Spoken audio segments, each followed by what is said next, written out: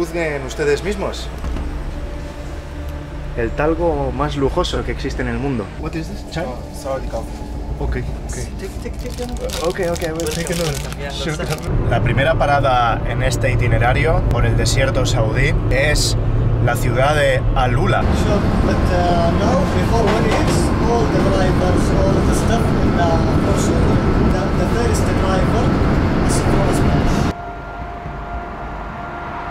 And how is the train? Is good? Everything good? Yes. Yes, 10 o'clock Medina. My train? Yes. 10. One hour before.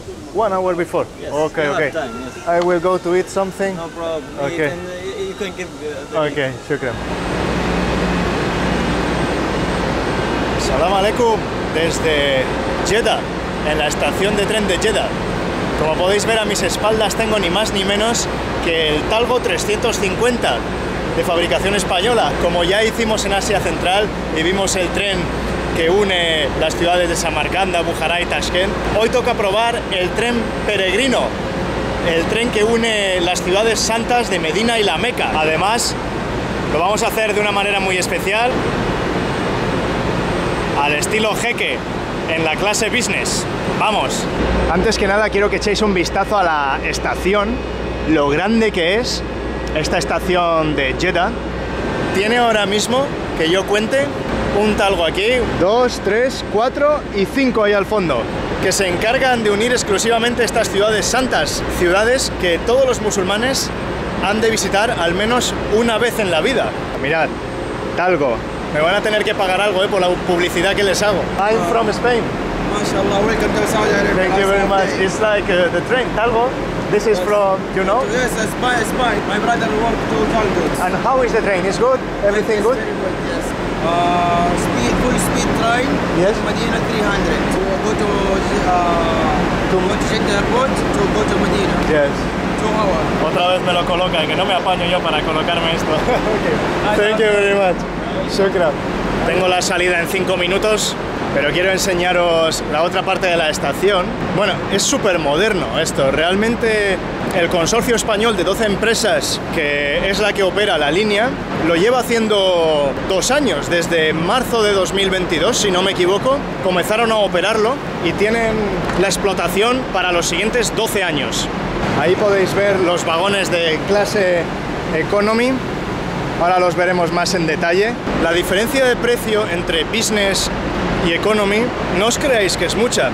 Sí que el billete de business es algo, bueno, claro, iba a decir, me ha costado, creo que al cambio eran como 70 euros, algo así, 80, y el economy te vale un poco más de la mitad, como 43, 45, o sea, realmente no hay una gran diferencia entre ambos billetes. Por eso he dicho, venga, vamos a probar los asientos más lujosos del que se conoce como el tren más lujoso. He echado un vistazo a tremenda estación. Ahí está la sala de espera. Estos ya son los andenes. Diáfanos, con un montón de espacio, como podéis ver. Los techos súper altos. Y solo hay dos direcciones desde Jeddah. Hacia la Meca y Medina.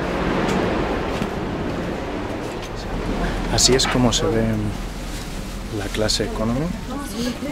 Yo creo que se ve bastante bien a primera vista. Los asientos parecen bastante amplios. Y este es el vagón restaurante. El vagón restaurante que tiene la particularidad, como podéis ver, que no es un vagón completo, sino medio vagón. Solo tiene medio vagón, es algo que han hecho especialmente para este tren. Y ya al lado del vagón restaurante, la clase business. Se nota un salto en los asientos.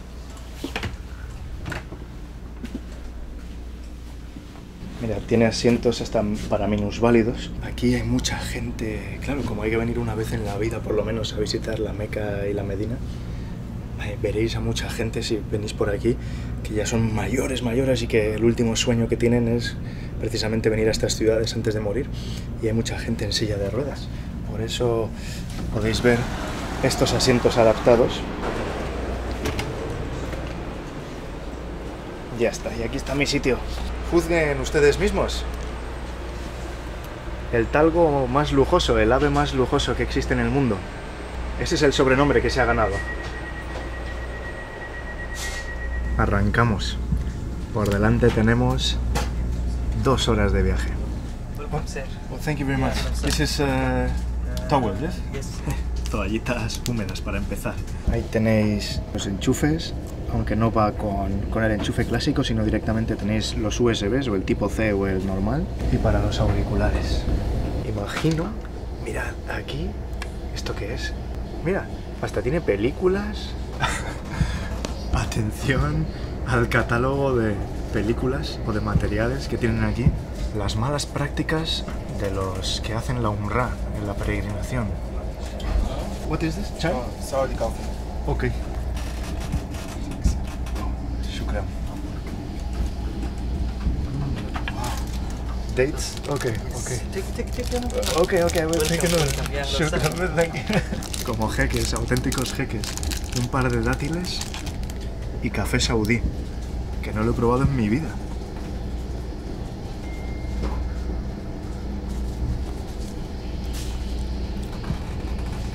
Esto de café, desde luego, no tiene mucho, al menos el sabor. Café saudí. Ahora miraré qué es. Sabe como a cítrico, diría yo. Un tipo de aroma que no identifico.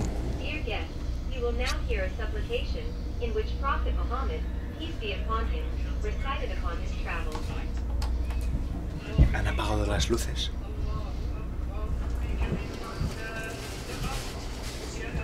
Lo que acaba de sonar es la súplica del viajero que en el mundo musulmán siempre se recita antes de tomar un viaje, de emprender un viaje, y que dice algo así. Alá es grande, Alá es grande, Alá es grande, bendito sea Alá que nos facilitó esto que antes no poseíamos y a nuestro Señor regresaremos. Oh Alá, te rogamos que en este viaje realicemos lo que te complace. Dios mío, facilítanos el viaje y acorta sus distancias. Yo ya lo había oído alguna vez en un avión que me ha tocado cuando viajé a Irán o aquí cuando vienes aquí a Arabia Saudí o sales de aquí, te lo ponen, pero es la primera vez que lo escucho en un tren. Lo que estaba mirando antes de que llegara el chico con los dátiles y el café y que sonara el anuncio eran las películas que tenéis aquí a disposición. Yo me imaginaba que iba a haber películas de Hollywood o árabes, lo que fueran, y no. Lo que podéis encontrar son formas de visitar la mezquita del profeta, rezos en situaciones de la- cotidianas de la vida y demás películas, bueno, o documentales relacionados todos con las prácticas del Islam. El catálogo algo limitado a temas religiosos, por eso he dicho antes que es el tren peregrino. Es un tren creado exclusivamente para unir las ciudades santas del Islam. Para que nos hagamos una idea de la importancia que supone la adjudicación de este contrato, se trata del mayor contrato conseguido por un consorcio de empresas españolas, con un valor de 7.100 millones de euros. Más de 500 expatriados españoles se desplazaron hasta estas tierras para acometer la obra durante la fase de construcción y los modelos de Talgo, el 350 SRO, se construyeron exclusivamente para estas líneas, un total de 35 trenes. Además, tiene la particularidad de que hay un vagón del cual no hay fotos ni se conoce nada, que es exclusivo para la familia real saudí y su séquito. Consta de 12 coches, de los cuales dos son eh, locomotoras y los otros 10, pues salas de reuniones, de descanso. Es un tren de lujo. Mucha gente lo ha apodado como un palacio sobre raíles. Y mirad, aquí en las pantallas podéis ver dónde está la Meca, siempre señalando la dirección. Ahora mismo casi 300 kilómetros por hora. Y aquí estamos desde Jeddah hasta Medina. Todavía nos queda una hora y media. Como veis el diseño tiene motivos árabes, tanto el tapizado como las estaciones que hemos visto antes. Todo guarda ese estilo de árabe, ¿no? De arquitectura musulmana. He de decir que los asientos business al menos parecen, no sé, el tapizado de un coche de lujo o de carreras. ¿eh? Podríamos estar en un Ferrari o en un BMW, un Audi, un Mercedes, no sé. Es una pena que sea de noche porque lo que veríamos aquí sería todo arena y desierto.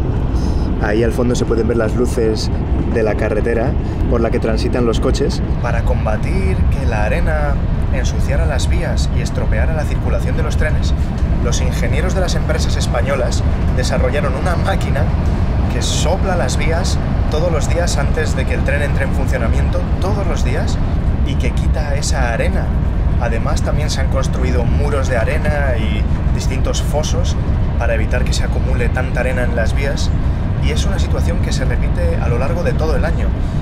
En los meses de primavera-verano se repite con más frecuencia, es decir, hay más cantidad de arena que limpiar, pero a lo largo de todo el año esto supone un gran problema. Pero no fue el único, este tren ha superado muchos contratiempos. Mientras estaba en la fase de pruebas me parece que se incendió la estación de Jeddah y tuvieron que construir un desvío a gran velocidad.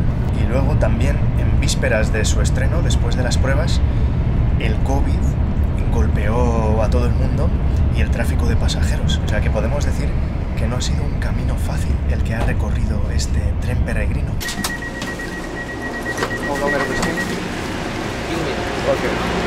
Acabamos de hacer una parada en King Abdullah Economic City, una ciudad dedicada al rey Abdullah. Apenas 30 minutos de trayecto y primera parada. En realidad solo hay esta parada entre la Medina y Jeddah, aunque hay trenes directos. En este caso yo me he montado en uno que hace parada aquí, en esta ciudad económica.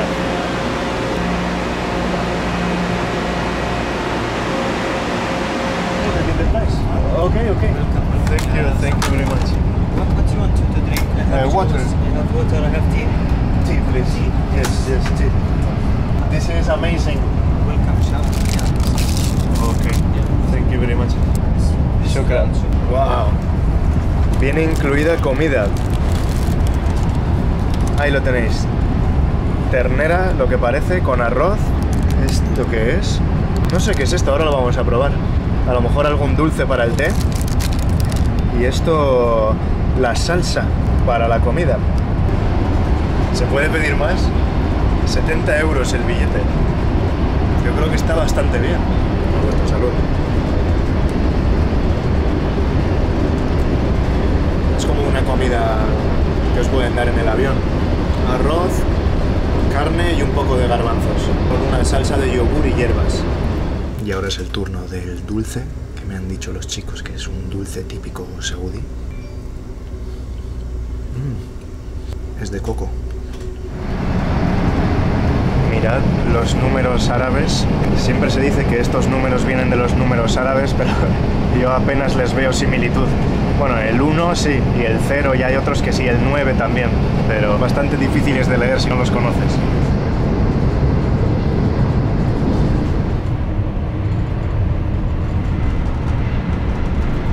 Vamos a echar un ojo más detallado al vagón restaurante, a ver si nos dejan grabar. Que antes había una chica que no quería que le grabara. ¿Cómo no? How is it working here? A lot of people? 17 uh, team Medina 17 teams in Makkah I don't know but uh, all the team Yes. working uh, seven base Seven, seven person. Yes. Here. with leader two sales two business two cafeteria Okay, seven people This for all is, the uh, train. team leader yes Team leader. Welcome. Welcome. Nice to meet you. I'm from Spain. My name is Victor. Nice to meet. Yes. from Spain. Yes, from Spain. I'm from Spain. Yes. tell me you know Nice to meet you. For me, it's very, it's very special Because to. This train from and Yes. we use here in Saudi. Yes, So, yes. that's a- And um, the drivers, they studied in in Spain also. Sure, but uh, now before one years, all the drivers, all the stuff in uh, from Saudi. From Saudi. All from The- Saudi. The, the first driver is from Spain. Do it with good style, like this. Saudi style. Wow, like sir. friends Thank you very much. And how, how is it working here? How is uh, is there a lot of pilgrims, a lot of people here coming yes. from all the a lot world? Of, uh, people coming from uh, around the world Yes. uh, for several reasons. Yes. Uh, for religious reason and for touristic reason. And what is the economic city? The Economic city is a business city. business city about petroleum and uh, Okay. like It's uh, focused on petroleum. Yes. I've heard that uh, the drivers, also women.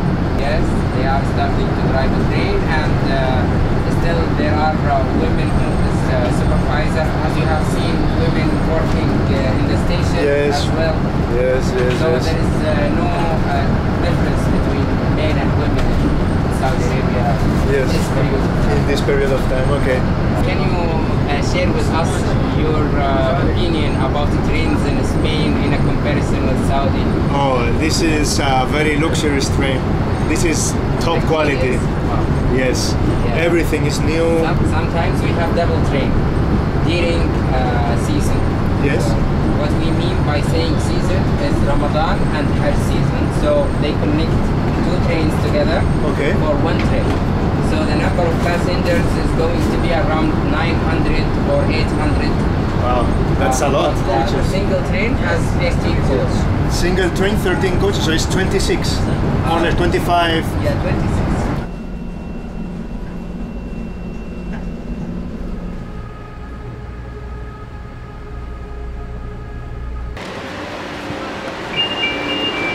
Thank you very much. Thank you. Thank you very much. It was a very nice trip.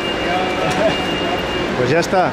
Así ha sido el viaje en el tren español del desierto, el Talgo Saudí. Muy bien. Una experiencia completa. Además, nunca he ido en business class, en clase de negocios, en un tren Talgo. Ha sido la primera vez. Ha tenido que ser aquí, en Arabia Saudí. Ahí lo tenéis. Precioso tren característico por su pico de forma de pato, como muchas de las series que tiene Talgo. Y ya está.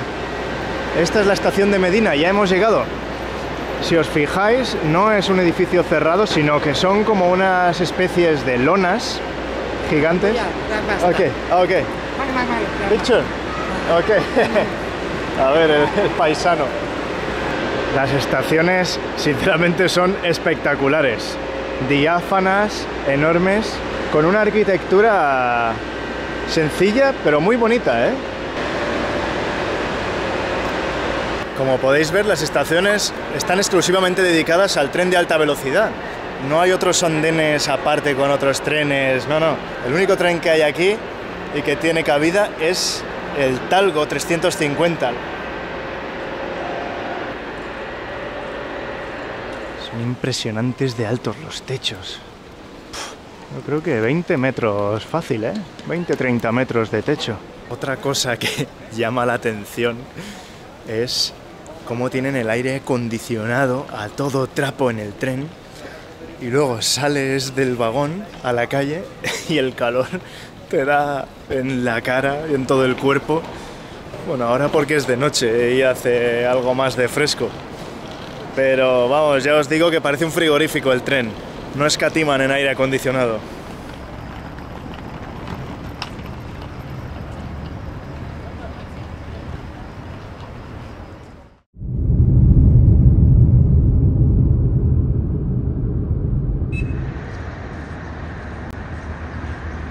Aquí, a Medina, es a donde se dirigió el profeta Mahoma desde su ciudad natal, la Meca, en lo que se conoce como la Égira, la migración. Debido a las persecuciones que sufría en la Meca, tuvo que realizar esta migración y se asentó aquí en Medina. Y aquí es donde murió y le enterraron en el patio de su casa, que era bueno, pues donde se reunían los feligreses. Y ese patio, esa casa de Mahoma, hoy en día es la monumental estructura y monumental mezquita que veis detrás de mí. Esa valla verde que separa el recinto de la mezquita del resto de la ciudad es la que delimita el paso a los musulmanes y no musulmanes. Yo, por ejemplo, ya no puedo pasar ahí dentro, no puedo atravesar esa valla. En los últimos años el gobierno saudí ha relajado las medidas que eran tan estrictas respecto a la entrada a la ciudad santa de Medina. A diferencia de la Meca, que sí que está prohibida terminantemente para los no musulmanes, ni siquiera acercarse a 15 kilómetros a la redonda de la Meca, o sea, no puedes entrar en lo que es ya los límites de la ciudad, aquí en Medina sí que se puede. Veréis que en internet hay muchas informaciones que dicen que la Medina es un lugar prohibido para los no musulmanes, pero en realidad es esta valla la que delimita la zona restringida a los no musulmanes. De hecho, cuando os acercáis a Medina por carretera, en los carteles ya no aparece la señalización de solo musulmanes. Ahora simplemente os indican el nombre de la mezquita. Es increíble la magnitud de edificios, hoteles que se han construido alrededor de la mezquita de Medina y que se siguen construyendo, que están en obras. Además de la ampliación de la mezquita, que es la segunda más grande del mundo, podéis ver también un montón de hoteles nuevos que se están construyendo. Edificios bastante altos, de 10, 15, 20 plantas. Después de haber visitado la ciudad santa de Medina, os invito a que me acompañéis a conocer el desierto saudí. ¡Vamos!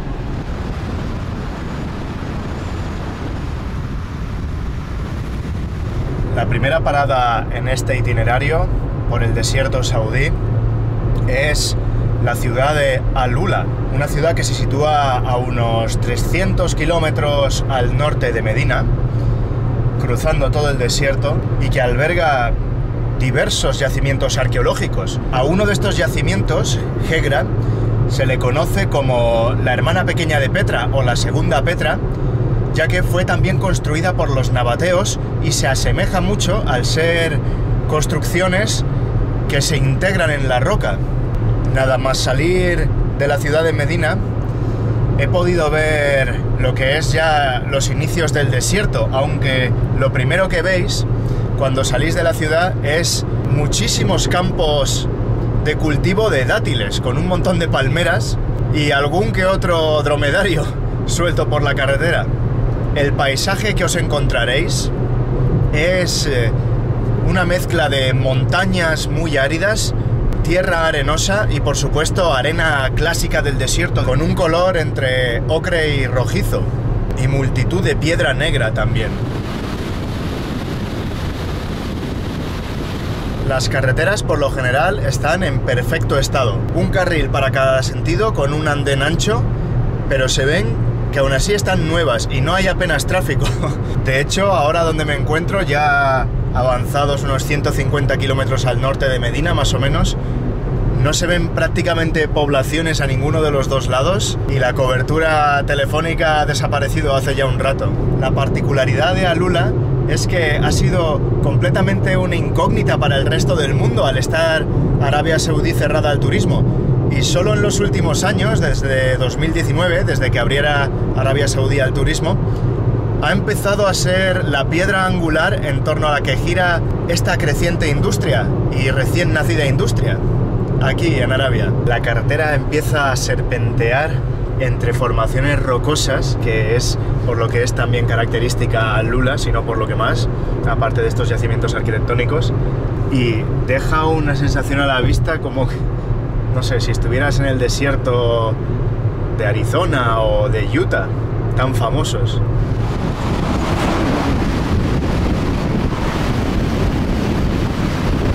No me lo puedo creer lo que estoy viendo. Delante de mí va el camión cisterna lleno de gasolina y desprende un olor muy fuerte a gasolina, de hecho, y si os fijáis en la rueda derecha trasera va soltando un líquido y es que se está filtrando gasolina. Aquí como les sobra la gasolina les da igual, menudo peligro, madre mía. Y ahí a la derecha al fondo las primeras ruinas de este complejo arquitectónico.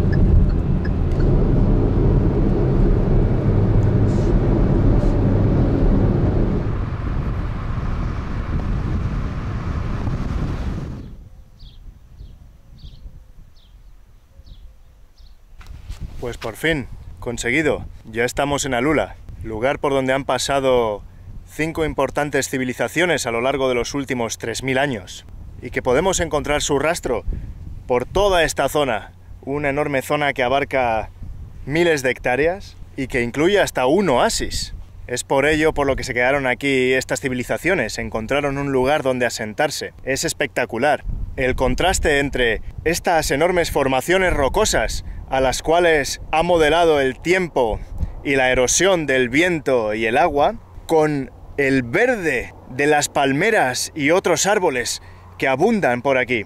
Nos podemos imaginar cómo hace 3.000, 2.000 años, 1.000, pasaban por aquí caravanas comerciales que conectaban las rutas de la península arábiga con África, Asia Central, Medio Oriente, y que se extendían luego a zonas como Europa y China. Esta civilización nabatea tuvo su apogeo, para que nos hagamos una idea, entre los siglos I a.C. y II después de Cristo. Las investigaciones arqueológicas e históricas nos dicen que en el año 106 después de Cristo posiblemente pasara a ser un puesto controlado por el Imperio Romano. Recientemente se han encontrado los restos de una tumba que fue encargada por una importante mujer nabatea y cuyo rostro los arqueólogos han logrado recomponer digitalmente.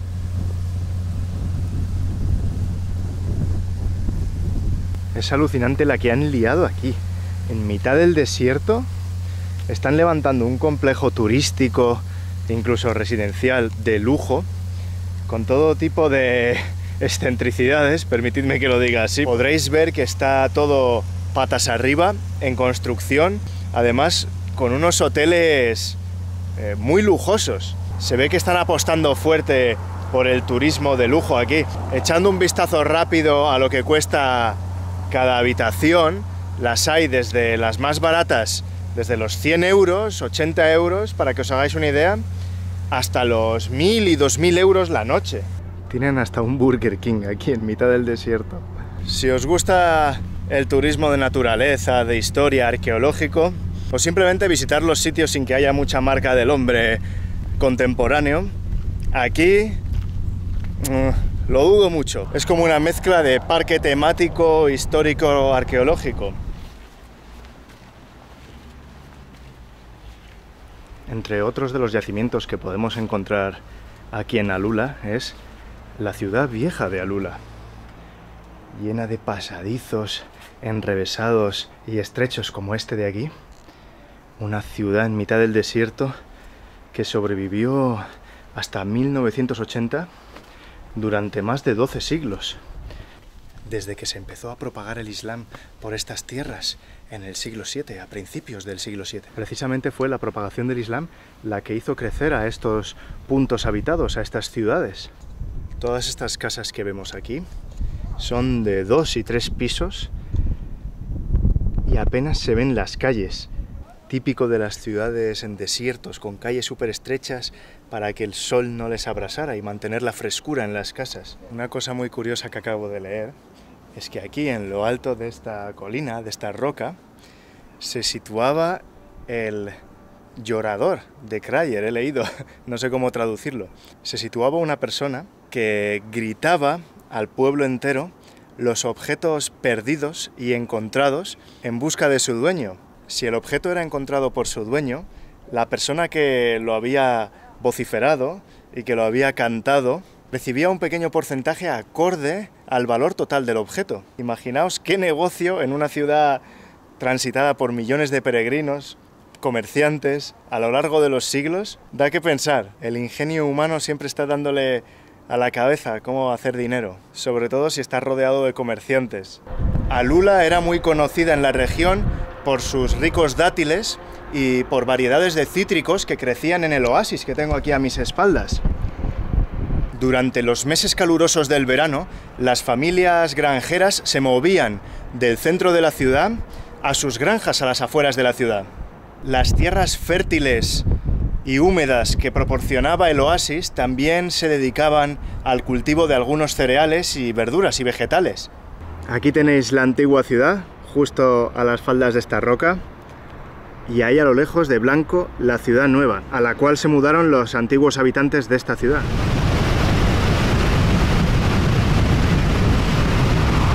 Pues otra vez a la carretera, esta vez rumbo a Jail, una ciudad a mitad de camino entre Al-Ula y Riyadh, donde me dirijo finalmente, cruzando todo el desierto. Tengo unas cuatro horas y media por delante, así que no sé si os lo llegaré a mostrar por la noche, la, vida nocturna de esta ciudad, o si no, ya por la mañana. Estoy seguro de que es muy distinta a lo que hemos visto en Jeddah y en Medina. Una de las cosas que me ha llamado la atención de estas carreteras del desierto, aparte de estar aisladas de cualquier punto habitable, es la cantidad de señales de precaución que podéis encontraros advirtiendo del posible cruce de camellos o dromedarios por la carretera. Pero no solo dromedarios, sino también gacelas he visto. Atención, ¿eh? Atención a la música que suena en la radio saudí. Esto era impensable hace una década. Aquí con la música electrónica cruzando el desierto.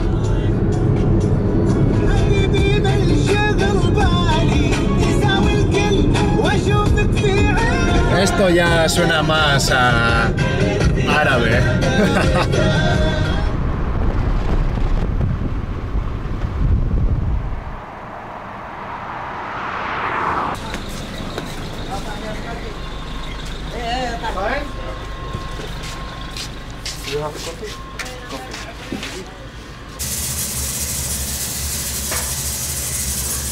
Una pequeña parada técnica para tomar un café en mitad del desierto. Hay aquí como una gasolinera y una pequeña población. Y voy a acompañar el café con algo de comer también. Mirad, para que echéis un ojo a cómo se ve esta parada. Una especie de estación de servicio. Hay varios buffets, dos o tres restaurantes como este buffet, un par de tiendas de productos también, un par de gasolineras y lo que no puede faltar, la mezquita ahí al fondo. Y aquí está la gente tranquilamente, ahí sentadita en el sofá, comiendo, relajándose. No son ni las 8 de la tarde, me parece. Y ya ha caído la noche cerrada completamente. Y se hace duro, ¿eh? Conducir tantas horas por una carretera recta prácticamente, sin ni una luz. A ver si el café me ayuda, que todavía me quedan 300 kilómetros o 250. Y lo que me he pedido, pues parece como ese un durum de pollo que tenían por ahí, un guiso de pollo frito. Y todo ha costado 8 reals, el café y el pollo, que viene a ser 2 euros. El coche aquí por excelencia es la pickup. Y ese niño que parecía que tenía 16 años o 15 acaba de salir de este coche. Pero si os fijáis en la antena esa enorme, la antena es por si te quedas perdido en mitad de la nada, para llamar por radio, que aquí las distancias son enormes y está todo deshabitado prácticamente. Segundo café en menos de 20 minutos, que no quiero quedarme dormido en mitad de la carretera. He visto el Google Maps que apenas hay poblaciones y a saber cuándo puedo tomarme otro café. O sea, a lo mejor son tres horas sin ver nada. Bueno, estoy exagerando, pero dos horas, hora y media seguro. Y como me entre el sueño, estoy hundido. Mirad, la gasolinera. Por cierto, no lo he comentado antes, pero he parado a repostar y por 60 reals, que son algo así como 15 euros, he llenado el depósito prácticamente. Quedaban unas rayitas ya de reserva por 15 euros. Está la gasolina baratísima aquí. Y solo tienen gasolina, 91 y 95. No tienen diésel ni cosas extrañas de gas, ni otros combustibles o hidrocarburos. Y cuesta 2 reals, o incluso menos de 2 reals, son menos de 50 céntimos de euro.